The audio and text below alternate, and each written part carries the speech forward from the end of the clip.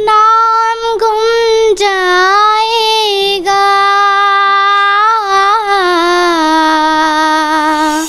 মই একৈছটা গান গাইছিলোঁ ফৰ্টি ওৱান মিনিটছত থাৰ্টি ফ'ৰ ছেকেণ্ডছত গাইছিলোঁ উইদাউট মিউজিক তেওঁ যে নহ'ল কোৱা আৰু ইয়াৰ আগতেও আৰু এটা ইণ্ডিয়া বুক অফ ৰেকৰ্ডছ কৰিছিলোঁ সেইটো হ'ল কাণ্ট্ৰি এণ্ড কেপিটেল একেলগে কোৱা ফৰ্টি এইট ছেকেণ্ডছ ফৰ্টি এইটখন কাণ্ট্ৰি চেহেৰাই বদল যায়গা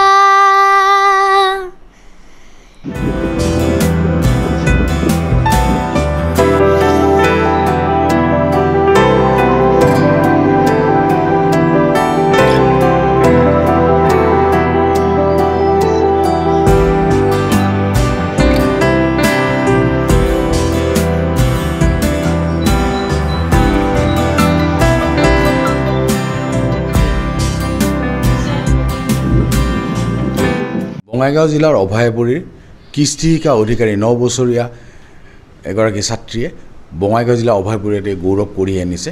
তেওঁ এতিয়া এই এইবাৰ ইণ্ডিয়া বুক অফ ৰেকৰ্ডছত তেওঁৰ নাম অন্তৰ্ভুক্ত কৰিবলৈ তেওঁ সক্ষম হৈছে। তেওঁ গীত পৰিৱেশন কৰিছিল নিৰবিচ্ছিন্নভাৱে একচল্লিছ মিনিট চৌত্ৰিছ ছেকেণ্ডত তেওঁ আহ, নিৰবিচ্ছিন্নভাৱে গীত পৰিৱেশন কৰিছিল একৈছটা গীত গীত পৰিৱেশন কৰিছিল তাতে হিন্দী আৰু আৰু অসমীয়া দুটা ভাষাই সন্নিৱিষ্ট আছিল। আৰু এই মুহূৰ্তত মই উপস্থিত আছোঁ কৃষ্টি শিকা অধিকাৰীৰ ওচৰত আৰু এই সমগ্ৰ দৃশ্য মই ভিডিঅ' জাৰ্নেলিষ্টত দেখুৱাবলৈ অনুৰোধ জনালোঁ।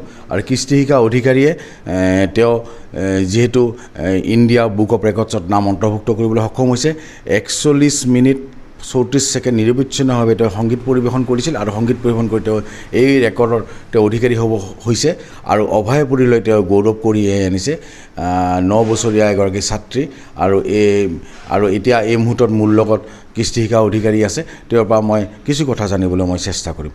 হয় কোৱাচোন। প্ৰথমে তোমাক এন কে টিভিৰ পৰা অভিনন্দন জনাইছোঁ। তুমি কোৱা কিমান সময়ত তুমি নিৰবিচ্ছিন্নভাৱে সংগীত পৰিৱেশন কৰিছিলা? মই একৈছটা গান গাইছিলোঁ।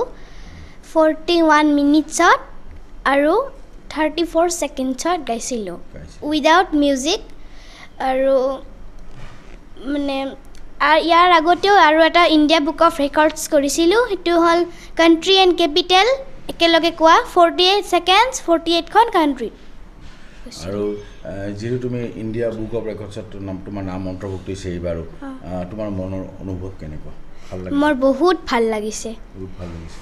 তোমাক এই ক্ষেত্ৰত কোনে সহযোগ কৰিছে ঘৰৰ বা কোনোবা শিক্ষক বা কোনোবা?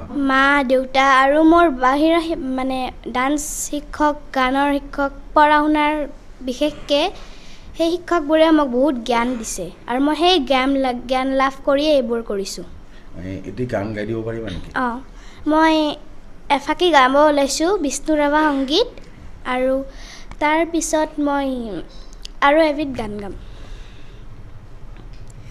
লগনো কলি গ'ল। তেওঁ যে নহ'ল কোৱা মনৰ কথাটি মোৰ। হিয়াত গুপুতে থোৱা। লগনো কলি তেওঁ যে নহ'ল কোৱা আৰু থাকি গোৱা তুমি? অঁ মই এইবাৰ হিন্দী গাম গোৱা। नाम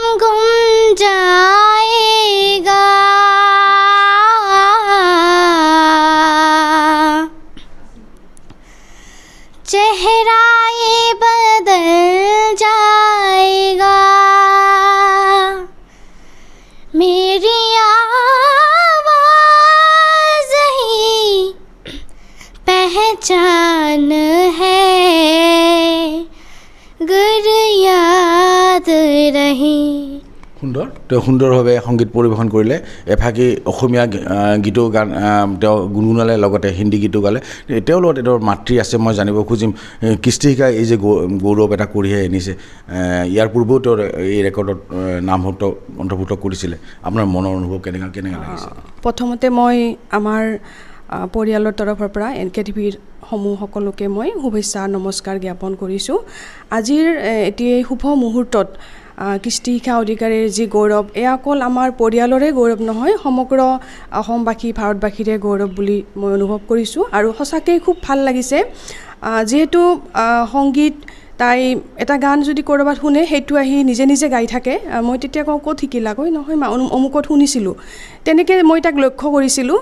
আৰু এদিন তাই নিৰবিচ্ছিন্নভাৱে ফোনত এঘণ্টা মানে মোৰ মাৰ ঘৰত কথা পাতি অকল গানে গাই আছিলে। তেতিয়া মই ভাবিলোঁ এঘণ্টা যদি তাই নিৰবিচ্ছিন্নভাৱে গানে গাব পাৰে তেতিয়াহ'লেতো এইটো এটা ৰেকৰ্ড কৰিব পাৰি। আৰু এনেকৈ তাইক এদিন মই প্ৰেক্টিছ কৰিব কৈছিলোঁ। এদিন প্ৰেক্টিছতে তাই এইটো সম্ভৱপৰ কৰি তুলিছে।